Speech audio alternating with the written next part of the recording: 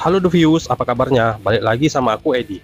Di usia 18 tahun, di saat anak-anak lain sekolah, ada seorang anak lelaki yang udah mengubah dunia metal dengan suaranya yang ikonik dan berdiri di panggung besar di depan ribuan penonton. Dia juga jadi vokalis band Halloween.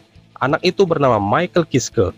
Sehebat apa sih anak ini hingga jadi legenda? Itulah yang mau aku bahas. Jadi jangan ke mana-mana ya.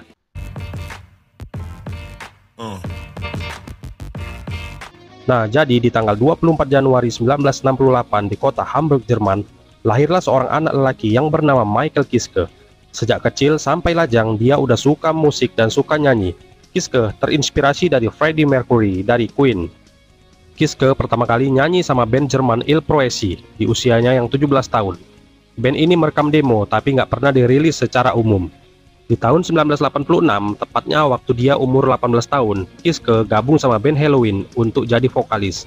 Untuk menggantikan posisi Kai Hansen yang waktu itu kesusahan kalau harus main gitar sambil bernyanyi. Makanya Halloween nyari vokalis dan Hansen fokus main gitar.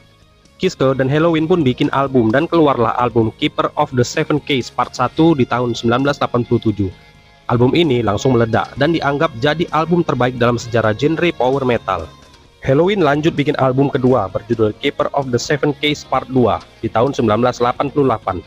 Album ini berhasil dapetin emas di Jerman dan juga lebih meledak dari album sebelumnya.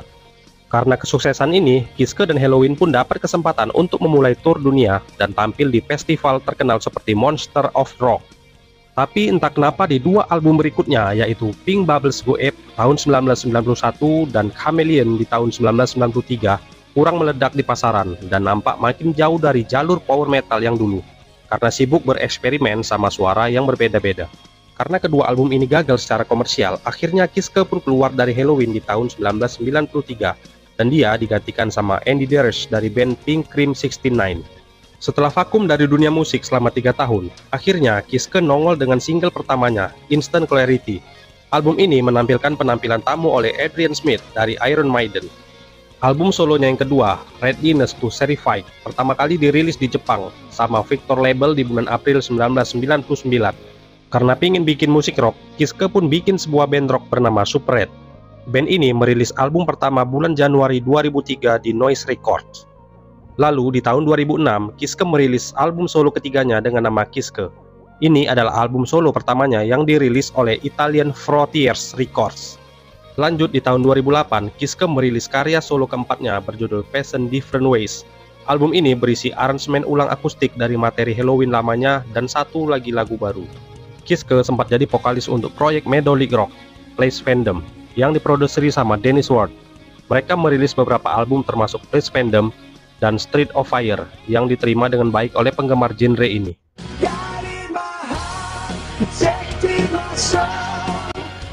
Pada tahun 2008, Kiske kembali ke dunia metal sebagai vokalis tamu untuk proyek metal opera Tobias Sammet, Avantasia. Kiske melakukan banyak hal bersama Avantasia dari tahun 2008 hingga 2022. Ini yang bikin Kiske jadi salah satu vokalis terbaik.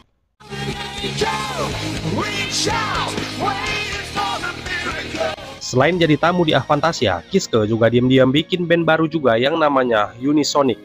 Kiske gabung sama Kai Hansen, band merilis dua album yang memadukan power metal dengan hard rock. Ini jadi salah satu proyek yang menandai kembalinya Kiske ke akar power metalnya.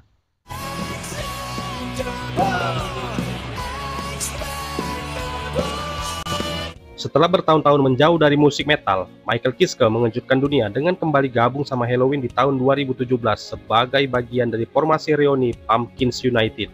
Reuni ini nggak cuma membawa kembali Kiske ke panggung besar, tapi juga menandai kebangkitan Halloween dengan formasi yang menggabungkan anggota lama dan anggota baru.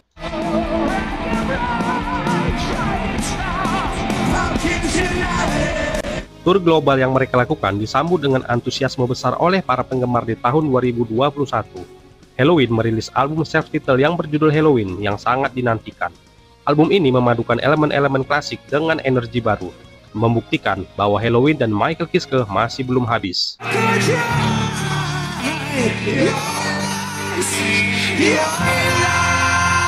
Kini Michael Kiske tetap aktif berkarya dan tampil baik bersama Halloween maupun proyek-proyek lainnya. Suaranya tetap menggetarkan hati para penggemar lama dan baru. Michael Kiske bukan cuma vokalis dengan suara yang menakjubkan, tetapi juga seorang musisi yang telah melewati perjalanan panjang yang penuh warna. Nah, cemana guys? Kalau kalian suka sama video ini jangan lupa like ya. Dan kalau kalian punya cerita atau kenangan tentang Michael Kiske dan Halloween, boleh dong coret-coret di kolom komentar. Terima kasih nih untuk kalian yang udah nonton. Sampai jumpa di video berikutnya dengan kisah-kisah menarik lainnya tentang musisi legendaris. Saya Edi pamit undur diri. Bye.